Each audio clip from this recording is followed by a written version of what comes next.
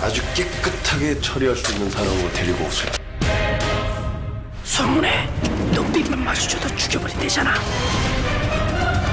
기도 새도 모르게 사람을 없애버린다는 거 아닙니까?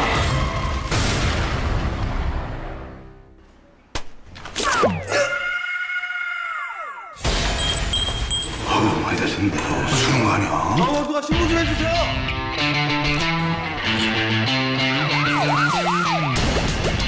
를 아십니까? 저를 아십니까? 기억 상실증 걸렸대요.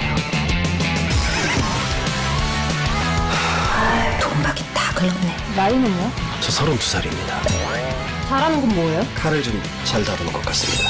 김밥 두 줄만 썰어줘. 제가 기억을 잃기 전에 어떤 일을 했는지 오늘 알았어요. 무슨 일인데요? 배우요.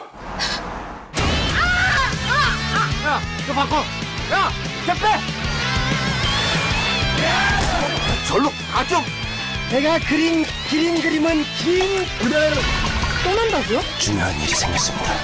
누구야?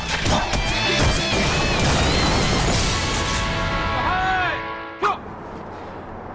네가 없는 그곳은 나에겐 정말로 지옥이었어. 너무 무서워요.